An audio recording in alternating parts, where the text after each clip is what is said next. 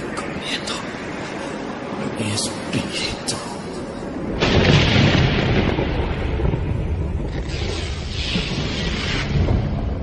Realmente fue impresionante ver sus últimas palabras en la cruz. Siempre que este hombre hablaba, sucedían cosas extrañas. Pues yo vi mucha gente que fue sanada por él, aunque a nosotros los soldados romanos nos prohibían hablar de estas cosas. Yo estuve parado junto a esa cruz y la verdad no quería estar ahí porque cuando volteaba para ver a Jesús, su mirada me hacía sentir y pensar que yo debería estar en su lugar. Él no me veía con odio, sino que, a pesar del gran sufrimiento que padecía y de su expresión de agonía, Él me miraba con amor. Y aún no alcanzo a entender por qué Él decía palabras como, Padre, perdónalos porque no saben lo que hacen. En mi interior yo le decía, vamos, si eres el Hijo de Dios, ¿por qué no bajas de esa cruz? Porque si dicen que no has conocido pecado, mueres por los pecadores y los presentas justos ante tu Padre cuando creo que el único justo eres tú. De pronto me di cuenta que mi cuerpo comenzó a temblar, porque parecía que Él escuchaba mis pensamientos. Y mientras por su cuerpo desfigurado corría la sangre, Él me decía con su mirada, si no bajo de esta cruz, es por amor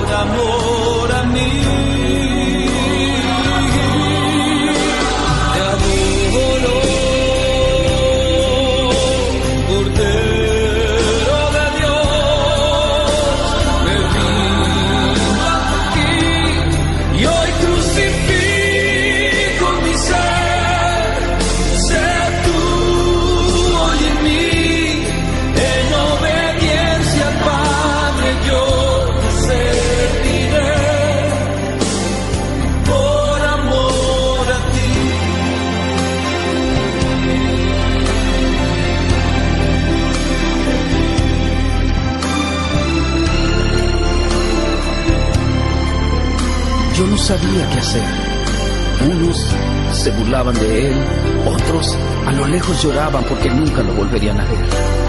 Aunque supuestamente él dijo que al tercer día iba a resucitar.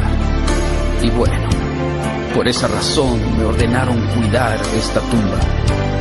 Sinceramente yo quisiera irme de este lugar. No sé por qué, siento un poco temeroso.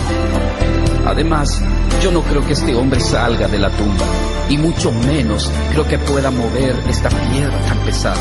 Claro que no, esto no sucederá, pues le vimos morir. Es más, le enterramos la lanza en su costado y sus piernas ni quebrarlas fue necesario. Él estaba muerto. Ahora, que yo recuerde, todos los reyes, emperadores y profetas Jesús, Hijo mío, por cuanto no te afetaste al ser igual a mí y renunciaste a todo lo que era tuyo, tomando forma de siervo y condición de hombre, haciéndote obediente hasta la muerte. Yo te levanto con el poder del Espíritu Santo, venciendo a la muerte, y te doy el más alto honor y el más excelente de todos los nombres, que es sobre todo nombre.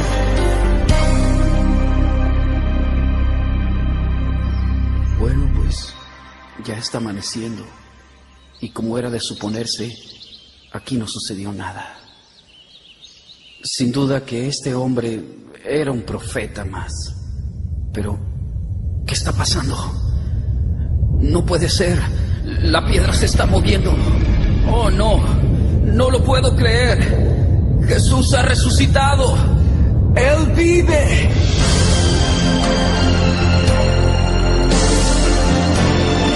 la resurrección y la vida. El que cree en mí, aunque esté muerto, vivirá.